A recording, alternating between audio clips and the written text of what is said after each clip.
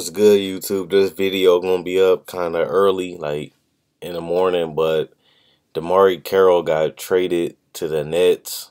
He basically a salary dump for the Nets. He's gonna be a aspiring contract in the next couple years. He might even get bought out.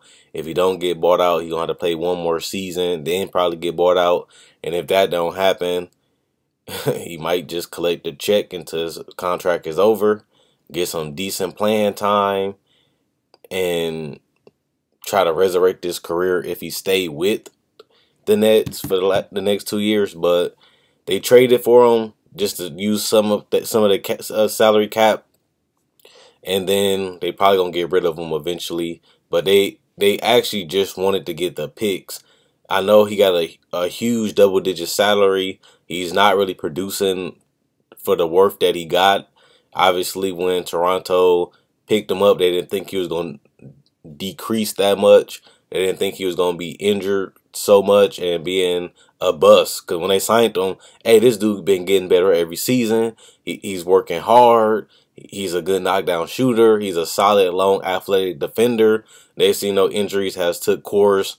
You can't really predict it. And next thing you know, the dude getting traded for Justin Hamilton and two picks it makes sense for the Nets because they traded all their picks in the Kevin Garnett and Paul Pierce trade, and now they're trying to get picks back. They got picks from the Lakers. Now they got a first round and a second round pick from the Toronto Raptors.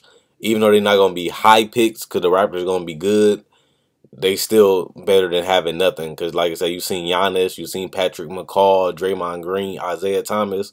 These are people that was picked below top 10 and you can still get a decent player at 21, 28. You can still get a, like Patrick McCaw, 35, Draymond Green, Isaiah Thomas.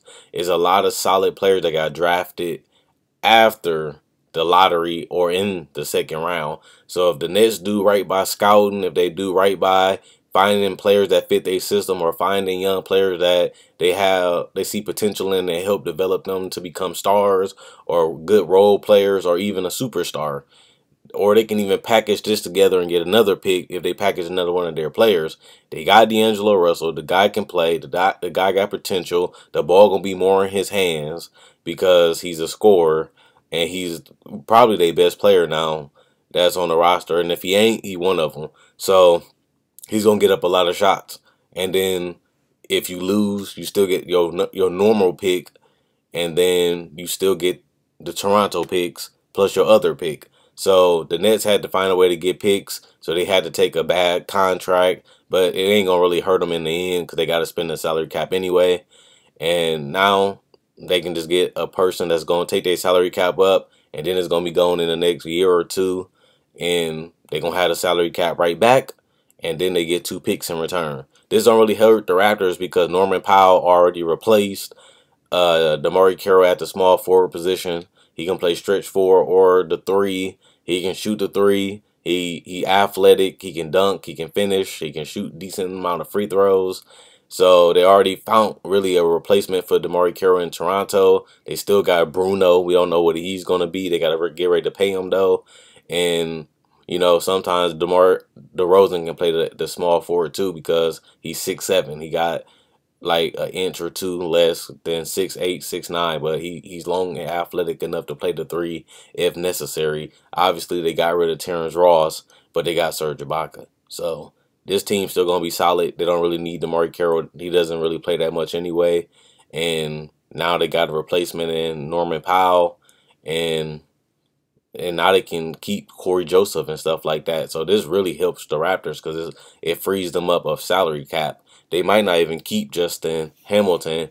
And if they do, he'd just be a backup big, which they really don't need because they got Jakob Poeltl. So the Raptors are stacked, and they got a chance to beat Cleveland if an injury goes their way.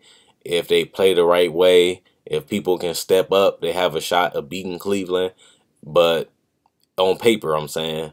But if they lose like they did last year in four, even though they didn't have Kyle Lowry, then this team gonna be stuck because all these salary, all these salaries that they gotta pay, and then they gotta pay Powell, then they gotta pay these other guys that's coming up on their deals. It's like, hey, we're gonna be stuck if we gotta pay all these people their money, and we might be stuck like this for a while. So comment, like, subscribe. Quinn Wade Basketball Analysis signing out. Check out my website, analysisplayground.com. It's in the description in the comment section below. Also, check out my Facebook page, analysisplayground.com.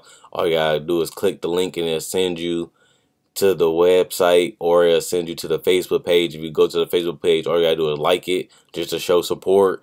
And it's Quinn Wade Basketball Analysis signing out. This could be a good trade for both teams. And then we'll see what happens in the future.